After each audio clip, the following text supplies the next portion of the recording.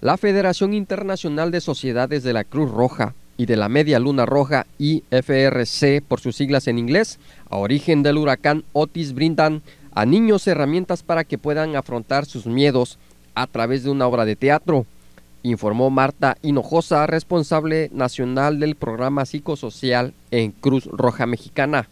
Fueron los alumnos de la escuela primaria Carlos A. Carrillo, ubicada en Ciudad Renacimiento, quienes recibieron este apoyo por parte de la Benemérita Cruz Roja Internacional. ¿Qué estrategias pueden utilizar para afrontarlo?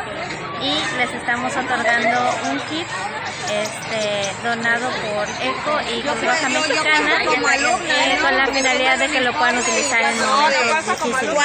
Melina Rivero, psicóloga de la brigada SMAPS, conformada por cinco especialistas en la rama de la psicología que pertenecen a la Comisión Nacional de Salud Mental y Adicciones, dijo que montaron la obra de teatro Una tormenta de emociones para concientizar sobre las reacciones de personas que tienen antes, durante y después de un desastre natural. Queremos que conozcan un poco sobre las emociones que pueden presentar, eh, que, que, sepan qué es lo que siente su cuerpo, qué es lo que puedan hacer. ¿Por qué? Porque implementamos también un plan de contingencia dentro de la obra. Obviamente abarcamos sobre las emociones que es estrés, miedo, eh, metemos un poco sobre la razón, claro, para para este enojo, porque todos estamos este, conscientes de que tenemos este tipo de emociones, ¿no?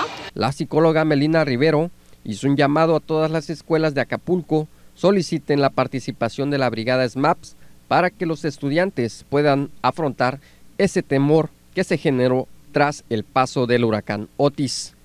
Jesús Tirado Ledesma, RTG Noticias.